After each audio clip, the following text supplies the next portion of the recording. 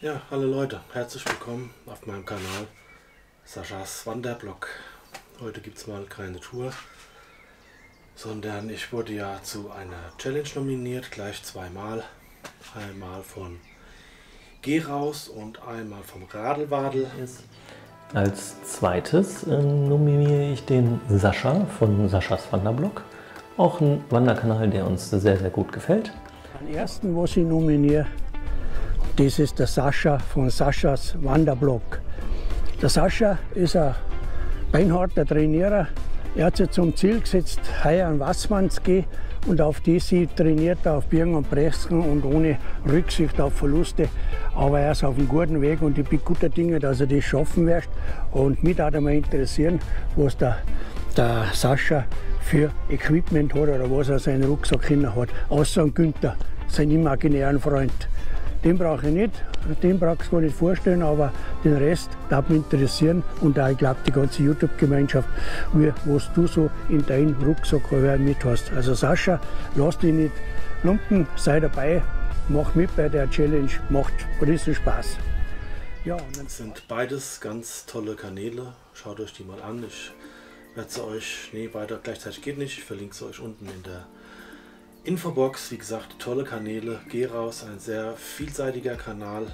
Hat eine ziemliche Bandbreite von Geocaching über Wandertouren.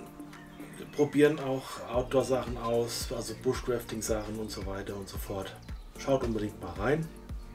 Beim Radelwadel auch unbedingt reinschauen, ist ein Kanal, der mir besonders am Herzen liegt, weil ich mag den Radelwadel sehr gerne. Ist ein sehr sympathischer Mensch, der sich selber nicht so ernst nimmt, auch selbst mal über sich sagen kann, auch in seinen Videos. Sehr, sehr super Typ, muss ich sagen, gefällt mir sehr gut. Wie gesagt, schaut mal rein. Die beiden haben mich nominiert. Ja, worum geht es in dieser Challenge? In dieser Challenge geht es darum, seine Ausrüstung ein bisschen zu zeigen. Also das heißt einmal seinen billigsten Ausrüstungsgegenstand, den teuersten Ausrüstungsgegenstand, den neuesten den ältesten und den liebsten. Ich habe mich jetzt mal ein bisschen darauf beschränkt, keine, naja, fast keine technischen Ausrüstungsgegenstände zu zeigen, sondern habe mich mal ein bisschen darauf beschränkt, was nehme ich so mit, wenn ich wandern gehe, ohne zu filmen. Weil das Filmen an sich hat ja mit dem Wandern vom Prinzip her, außer bei uns YouTubern, nichts zu tun. Und ja, deswegen fange ich einfach mal an mit dem ersten Gegenstand auch, das ist einer meiner ältesten Gegenstände, mein allererster Wanderrucksack, was eigentlich gar kein Wanderrucksack ist, sondern der ist noch aus meiner Quad-Zeit. Ich bin vorher mal Quad gefahren und da ist der noch her. Ich weiß gar nicht, was das für eine Marke ist. Auf jeden Fall ein 35 Liter Rucksack, Fairpranks. Also das ist so der Rucksack, der mich die erste Zeit begleitet hat, aber der ist halt relativ unbequem zum Wandern. Man hat relativ schnell Nackenschmerzen bekommen und deswegen habe ich den auch relativ schnell ausgesondert, muss ich sagen. Und der ist jetzt so etwa ja, 10, 12 Jahre alt. Aber ich hebe ihn noch auf, weil es hängen viele, viele Erinnerungen dran. Und wer weiß, vielleicht kann man ihn mal gebrauchen. Und dann habe ich noch einen weiteren ältesten Gegenstand. Das ist mein altes Wandernavi. Das Garmin Oregon 450T. Und das hat mich auch sehr, sehr viel begleitet. Ist leider kaputt. Das Display ist kaputt und es lässt sich auch nicht mehr mit dem Laptop verbinden. Und ja, ich muss sagen, im Zeitalter der Smartphones brauche ich bis jetzt eigentlich keins. Ich meine, die sind natürlich genauer, keine Frage. Und wenn ich jetzt mehr in den Alpen gehen würde, würde ich mir auch wieder ein richtiges Wandernavi kaufen, aber wie gesagt, für meine Touren reicht mir das völlig aus, mit dem Handy zu navigieren, sei es mit Komoot, was ich die meiste Zeit benutze, oder auch äh, Outdoor Active. Und es gibt noch einen anderen Gegenstand, womit ich navigiere, dazu aber später mehr. Ja, dann kommen wir zum billigsten Gegenstand oder eigentlich billigsten Gegenstände eigentlich gleichzeitig äh, einer meiner neueren ist. Also als allererstes habe ich immer mal Tüten dabei. Das ist eine etwas größere Plastiktüte für ja, Hundekot aufzusammeln, sage ich jetzt mal, oder vielleicht auch mal für seinen Müll oder auch anderen Müll mitzunehmen, habe ich immer dabei. Hat mich nichts gekostet, weil den habe ich mir unterwegs geklemmt, muss ich ehrlicherweise sagen. Und ja, ich habe aber auch richtige äh, äh, gekaufte. In so Rollen ist der, aber ich habe meistens den hier dabei, weil der ist, der nimmt einfach weniger Platz weg. Das habe ich meistens im Säcke. Und der Gegenstand hier, der hat mich auch nichts gekostet. Das ist ein Geschenk von meinem Arbeitgeber. Den habe ich allerdings noch gar nicht mitgehabt, weil er noch relativ neu ist. Der wird mich aber zum Watzmann begleiten und zwar ist das ein Handtuch. Wie gesagt, noch nicht benutzt, ist auch noch relativ neu. Und ja, den werde ich mit zum Watzmann nehmen.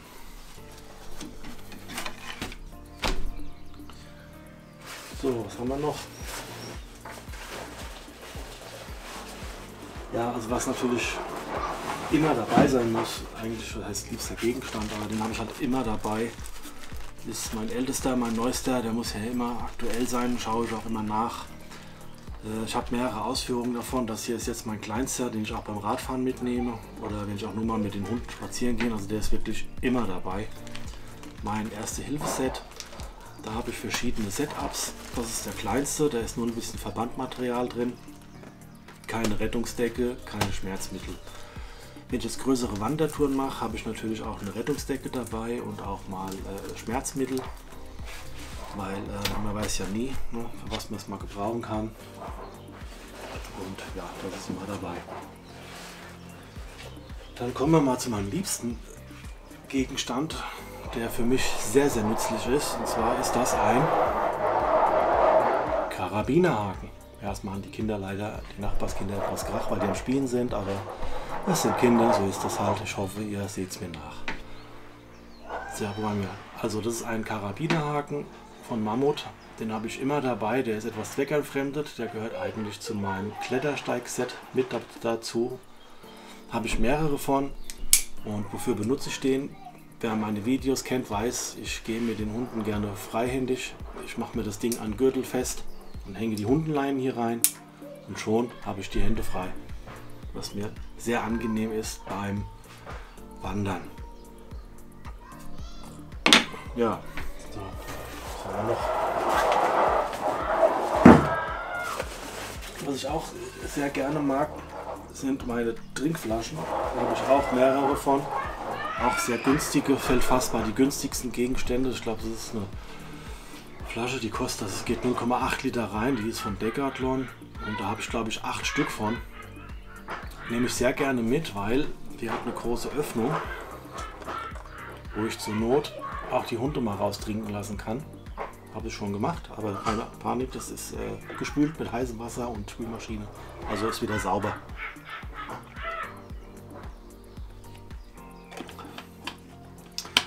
Ja, ist die letzte Zeit schon ein, zwei Mal zum Einsatz gekommen für die Hunde, weil ich die spezielle Trinkflasche für die Hunde vergessen habe. Das ist die hier.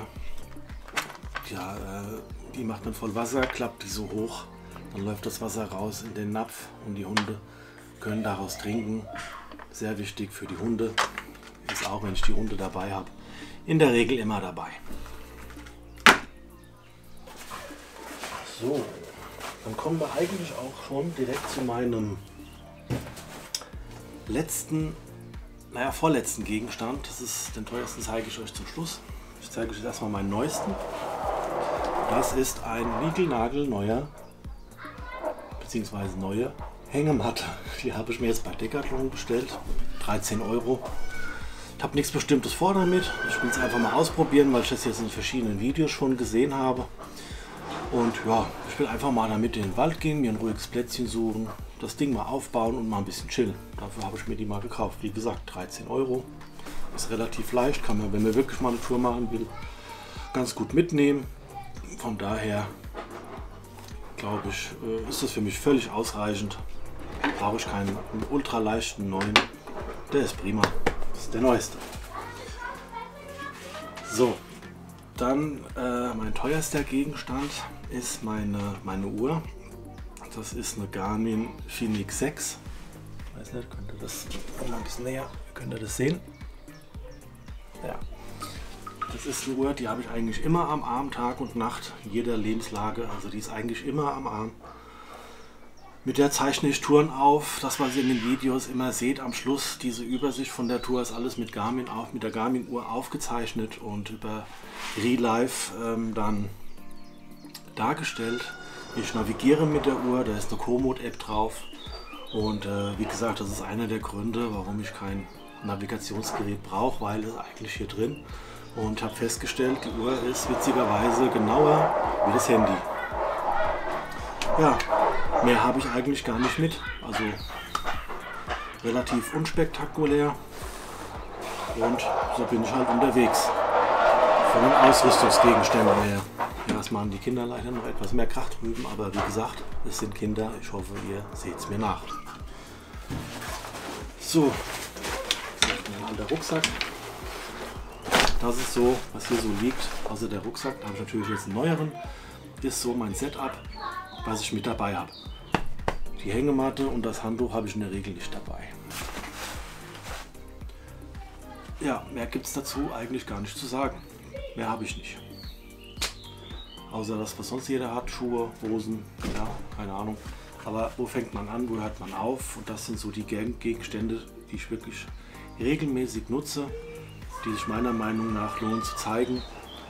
Und die technischen Sachen habe ich wie gesagt mal rausgelassen, weil die mit dem eigentlichen Wandern ja nichts zu tun haben. Aber wen es interessiert, ich filme mit einer Osmo Action von DJI und fotografieren und dieses Video mache ich jetzt mit einer Sony Alpha 6600 und habe noch ein externes Mikrofon, welches auf beide Kameras passt. Das ist das Rode Video-Mikro.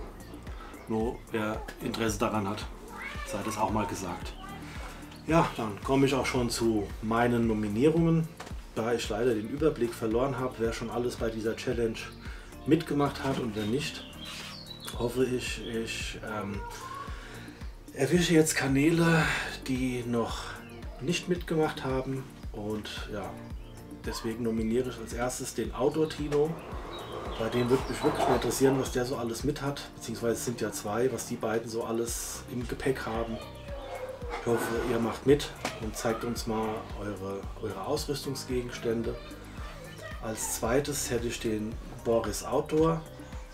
Da würde mich auch mal interessieren, was der so alles dabei hat, weil ich glaube, der ist auch immer mit relativ leichtem Gepäck unterwegs. Würde mich auch mal interessieren, auch bei dir. Würde mich freuen, wenn du mitmachst.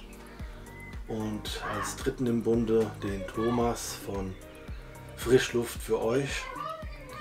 Deine Ausrüstung würde mich auch mal interessieren, was du so dabei hast, weil du bist ja sehr vielseitig und hast ja auch mal ein Pennyboard dabei oder weiß der Geier was. Du bist ja immer wieder für Überraschungen gut. Deswegen würde es mich bei dir auch mal interessieren, was du so für Ausrüstungsgegenstände hast. Wie gesagt, schaut euch auch die drei Kanäle an. Der Outdoor Tino macht ja viel Lost Place Geschichten, aber auf eine eigene Art, sage ich jetzt mal. Also das ist eine andere Art, wie man das sonst so kennt. Schaut einfach mal rein. Wie gesagt, die Kanäle sind alle unten in der Videobeschreibung. Schaut, schaut mal rein. Dasselbe ist eigentlich für den äh, Boris Outdoor, der ist auch sehr vielseitig. Der macht Lost Places, der macht Wanderungen, der macht Megamärsche, der macht irgendwelche Specials, der macht irgendeinen Blödsinn, was ihm gerade einfällt. Also ein sehr unterhaltsamer Kanal, ein sehr sympathischer Typ. Schaut auch unbedingt mal bei ihm mal rein. Wie gesagt, Links findet ihr alle in der Videobeschreibung. Und beim Thomas von Frischluft für euch natürlich auch. Auch ein sehr, sehr vielseitiger Kanal, der mir auch am Herzen liegt, weil meiner Meinung nach hat er viel zu wenig Abonnenten für das, was er so macht. Er äh, macht äh, alles Mögliche. Er hat schon äh, Filme gemacht mit dem also mit seinem Zwillings, Zwillingsbruder, ja, also dieselbe Geschichte eigentlich wie ich mit Günther, nur er hat es ein bisschen besser gemacht, ein bisschen professioneller mit dem Carsten Wehrheit noch zusammen. Äh, er macht Tutorials für äh, Wandereinsteiger, er macht Wandertouren, er zeigt euch, wie man Pennyboard fährt und gibt viele Tipps und, und, und ja, er hat so ein bisschen eine andere Art, seine äh, Strecken zu planen, Ich bin mir gar nicht so sicher, ob er die überhaupt schon zu Hause plant. Also so ganz durchgestiegen bin ich da ehrlich gesagt noch nicht, wie er das macht. Auf jeden Fall finde ich es sehr gut, wie er es macht. Sehr interessant. Schaut mal rein. Ja, das soll es dann auch schon gewesen sein. Wie gesagt, alle Kanäle, die ich erwähnt habe, die mich nominiert haben, beziehungsweise die ich nominiert habe, findet ihr unten in der Videobeschreibung. Wenn ihr noch irgendwas Spezielles wissen wollt an Ausrüstungsgegenstände, mehr wissen wollt, schreibt es mir in die Kommentare. Schreibt mir Fragen in die Kommentare, ich beantworte die gerne. Und ja, das soll es dann auch schon gewesen sein zu dieser Challenge. Ich hoffe, die drei nominierten Kanäle machen mit und wir sehen uns im nächsten Video. Bis bald, euer Sascha. Ciao.